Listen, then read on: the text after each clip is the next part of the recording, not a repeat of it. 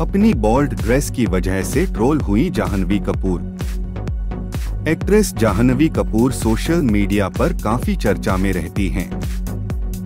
कुछ दिनों पहले उनके कथित बॉयफ्रेंड शिखर पहाड़िया का बर्थडे था उनके जन्मदिन पर उनका एक पोस्ट वायरल हो गया था इसी तरह इवेंट में भी जाह्नवी कपूर अपनी अजीबोगरीब ड्रेस की वजह से ट्रोल हो जाती हैं। जाह्नवी कपूर को हाल ही में एक अवार्ड शो में देखा गया। अभिनेत्री जाह्नवी ने बॉडीकॉन स्कर्ट के साथ पीले रंग की ड्रेस में अपने स्टाइलिश और ग्लैमरस लुक का जलवा बिखेरा।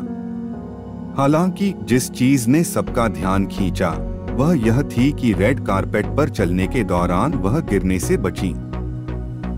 इवेंट से जाह्नवी का ये वीडियो सोशल मीडिया पर वायरल होने के बाद नेटिजन्स ने उन्हें खूब ट्रोल किया। एक ने कहा, क्यों पहनते हैं? जब संभालने नहीं आता तो दूसरे ने लिखा, सर्जरी की दुकान, कुछ ने उन्हें उर्फी जावेद भी कहा। कुछ यूज़र्स ने तो यहाँ तक कहा, शर्म नहीं आती तो बहुतों ने भारतीय संस्कृति की याद दिलाई है।